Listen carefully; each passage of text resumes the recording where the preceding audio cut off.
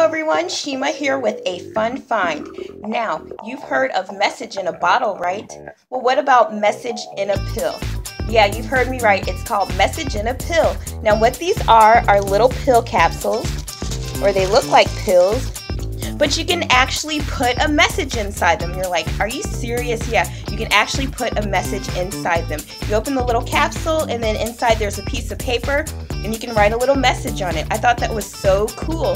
Now, where did I get these little capsules from? I got them from Wish.com, and they also have an app. So, if you've never heard of Wish.com, it's a great place that you can buy inexpensive products, and most of the products I believe come from China. So, you do have to wait a while, but if you're okay with waiting, they have like all sorts of things household products, personal products, hair products, like everything, guys. You want it, they have it.